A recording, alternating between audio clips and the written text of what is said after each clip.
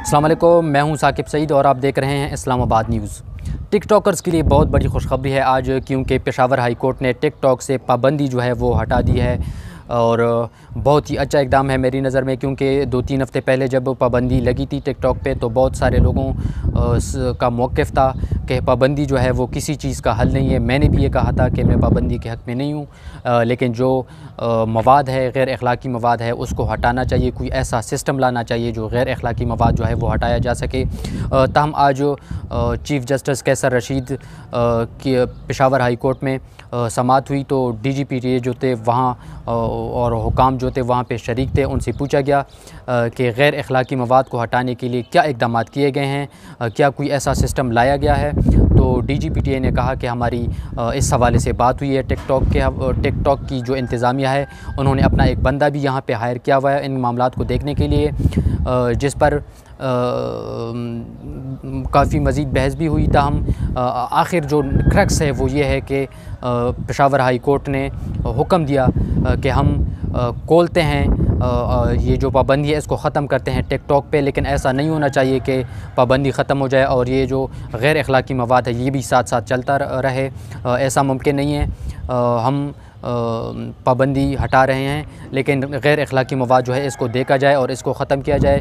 तो P T ए के जो हुकाम थे, उन्होंने कहा कि इस हवाले से हमारी बात हुई है और अगर कोई गैर अखलाक़ी मवाद जो है वो टिकटॉक पर अपलोड करता है तो टिकटॉक जो है उनकी आई आईडीज़ जो हैं वो ख़त्म कर देगा या बैन ब्लॉक कर देगा। तो थोड़ा सा फ़र्क इस इस पे पड़ेगा। आज साइंस साइंस और टेक्नोलॉजी के वज़ीर फ़वाद चौधरी ने भी इसके बाद ट्वीट किया कि मेरी दरख्वास्त है कि कोई फ़ैसला करते वक्त सोचा जाए मतलब कुछ हसास मामला होते हैं कि कहीं पाकिस्तान की मीशत को नुकसान ना हो और साख को नुकसान ना हो। मेरा ख़्याल है कि अच्छी बात है ये क्योंकि जो मामला हैं, कुछ मामला जो हैं वो पाबंदी से हल नहीं होते और उनके लिए कुछ मेकानिज़म बनाना पड़ता है।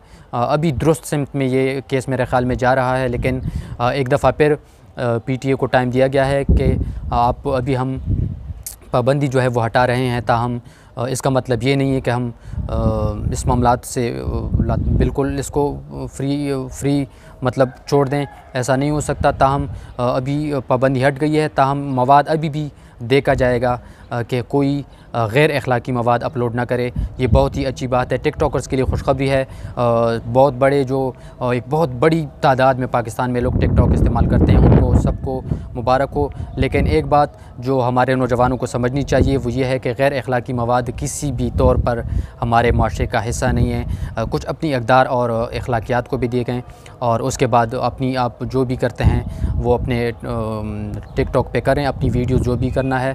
लेकिन अपने अखलाकियात और रस्म व रिवाज, अपनी जो तहसीब, तहज़ीब है उसको थोड़ा जहन में रख के अपना काम करेंगे तो बेहतर रहेगा और ये माशरा भी आगे जाएगा, हमारी इकानमी भी इससे बेहतर आगे जा सकती है। तो आज के लिए इतना ही नेक्स्ट वीडियो में दोबारा मिलते हैं। अल्लाह हाफ़िज़।